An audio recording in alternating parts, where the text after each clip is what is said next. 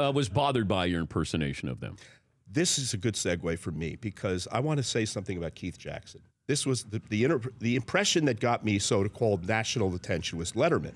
Letterman had me on, and uh, he wanted me to just do Keith Jackson.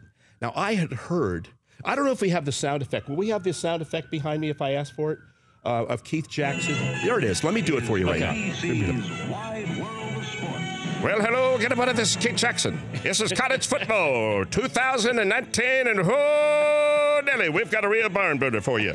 Yes, indeed, it did it live. It'll be ABC's Wide World of Sports with the proctologist from Johns Hopkins University, taking on the big red suicide machine from Jack Kevorkian Junior College. and oh boy, there's going to be a whole lot of head crackle. Let's pick up the action right here, right now on ABC. He rolls on the right side. He's got some run from the 35 to 30 to 25. He could go all the way, but he's hit and cracked and fumbled. and that's the way he sounded, right? Now, Letterman hears this. I do it on national TV, and I hear that Keith is pissed. Yes. But he wasn't really pissed. He wasn't sure what my attitude was towards him. Well, he did tell me. He goes, "I never said." I never said whoa, Nelly. Yeah. No, sir. but here's here's the beautiful thing. We became really close friends at the end, and he he. Will you do Keith Jackson for me? right? when he pass when he passes. When he passes Turi Ann, his longtime wife, I think they were 65 years married, or maybe almost 70 years married, 60 something years. She said, "Would you do Keith at the memorial?" And I and I did. I did a memorial Keith, Ja- and, and it just gave everybody a laugh, and it was warm. But Keith used to That's say, pressure, Roy. I never, I never said whoa Nelly, but I do like the way that he does Keith Jackson. That's true, true story. Did Cosell ever respond to you doing Cosell? Oh, many times. We, I had about Was he a- okay with that? No, He wasn't okay with anything. He wasn't. like, right? I had. Do, can we get that hip hop thing up before I do this? This is. I wanted to do Howard Cosell and Muhammad Ali as hip hop. I need a little more t- sound in the, the head sound, headphones. Okay, here is Howard Cosell and Muhammad Ali. A little more. Here we go. Here we go. Hello, everybody. I'm Howard Cosell. Without further ado, there's the opening bell.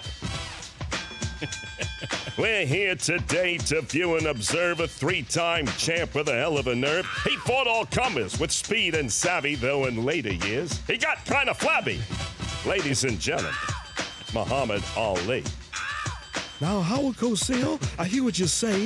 You're full of hot air. You got a bad toupee. I fought with style. I fought with class. You ain't nothing but a pain in my ass. There it is. but Cosell, just to say that I, in the 1981 World Series, Dodgers Yankees, I go in the dugout and I do this. That, my friend, was not an authentic impersonation. now, if you do Keith Jackson, that's quite a different thing. I mean, he he he liked it when you lampooned others, but not himself.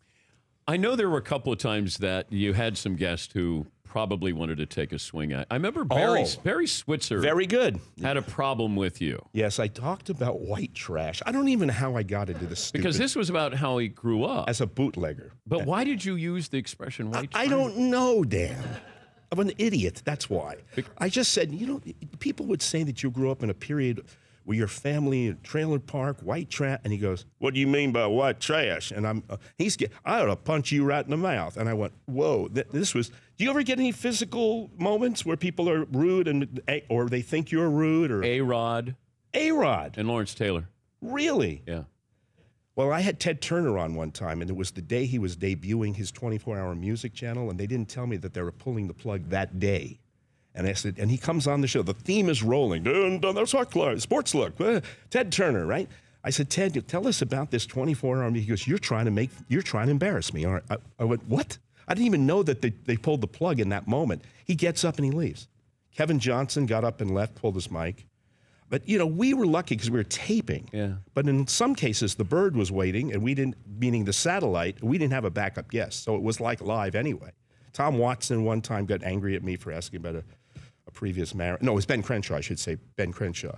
He says, you know, you talk to me about anything you want. And he said, well, you talked about, right? They just say, well, you know, there was some hardship and a, tough divorce, and, and then he says, I want that show pulled. For, I, it's already, it's already airing. And he got mad at me. I'll never talk to you. And, you know, had that kind of stuff. You know. But to but to stay uh, you know curious. I loved hard. it. I loved it. You know, I mean, But it's only a it's a half hour show. Like I my challenge is this is three hours. And the energy level for three hours yeah. is exhausting. Yeah. Like I look for the little breaks there. And you know, when you do it, and then how much how much did you go as scripted when you were interviewing people? Never. I never had a script. Never. I have. I would have a word. You know, father suicide or whatever the heck we were talking about, or you know, mother drug addict or whatever it was to remind myself that was the scenario. But I remember I had Shannon Sharpe on. You, you ever have Shannon? I know he's at Fox now, but Todd does a good Shannon Sharpe impersonation. let me hear Todd. I think the Denver Broncos got to get a new quarterback. If it's not working out with Flacco, I don't know what Elway's doing. They got to get a quarterback. Very good. I said, ladies and gentlemen, I said, I said, uh, Shannon, based on your academic, he was a very self-effacing guy. I said, based on your academic career, would you say you graduated to the level of magna cum laude? He says, Roy, the fact that I graduated is thank you, Lordy. I, I just thought that was you can't you can't write better No, you than can't. that. No, you can't. And Jimmy V was came to play. Jimmy V was Wilt Chamberlain. I got to give him a quick Wilt. One- Okay. oh, 30 second Okay. Wilt story. Come out of a restaurant, I never met him before. 79.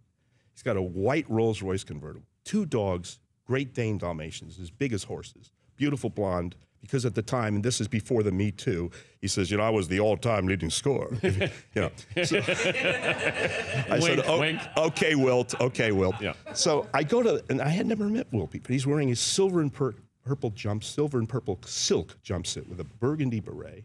He's got a lemon line feather. I'll never forget this.